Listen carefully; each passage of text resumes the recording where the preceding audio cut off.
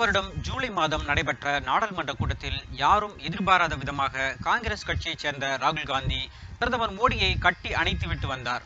இந்த விஷயம் பிரதமர் மோடிக்கே கொஞ்சம் வித்தியாசமாக இருந்தது. மேலும் அவரால் எதுவும் பேச முடியாமல் திகைத்து போனார்.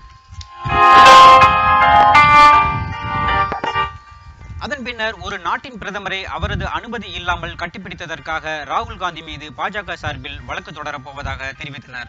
ஆனால் அதன் பின்னர் அந்த விஷயம் அப்படியே முடிவுற்றது. இந்நிலையில் நேற்று சென்னை ஸ்டெல்லா மேரிஸ் கல்லூரிக்கு ராகுல் காந்தி வருகை தந்தார். பலத்த பாதுகாப்புடன் வந்த அவர் அங்குள்ள மாணவ மாணவியர்களுக்கு மத்தியில் நின்றபடியே அவர்களுடன் உரையாடினார்.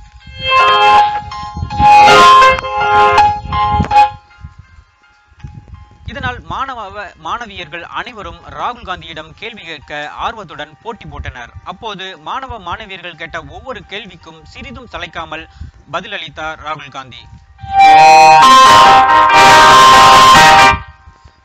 அப்போது அவர் பணிவு சம்பந்தமான கேள்விக்கு என் தாய் சோனியாவிடம் இருந்து நான் பணிவை கற்றுக்கொண்டேன் என்று தெரிவித்தார். மேலும் பாலின சமத்துவத்தில் வட மாநிலங்களை காட்டிலும் தென் மாநிலங்கள் சிறந்த அளவில் உள்ளதாக அவர் தெரிவித்தார்.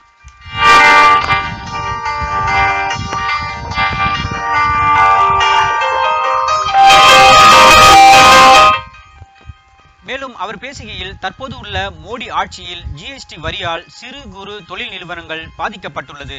நாங்கள் ஆட்சிக்கு வந்தால் ஒரே ஒரு வரி மட்டுமே இருக்கும். அதுவும் குறைந்த வரியாக இருக்கும் என்று தெரிவித்தார். மேலும் சாதி மத பேதம் இல்லாமல் நாங்கள் அனைவரையும் ஒன்றாக சரிசமமாக பார்ப்போம் என்றார் ராகுல் காந்தி.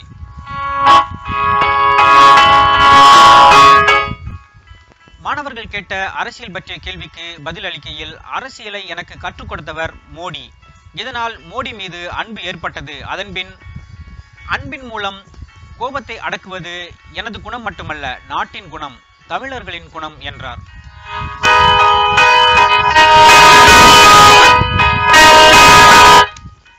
அப்போது ஒரு மாணவர் நாடாளுமன்றத்தில் மோடியை நீங்கள் எதற்காக கட்டிப்பிடித்தீர்கள்? என்று கேள்வி எழுப்பினார்.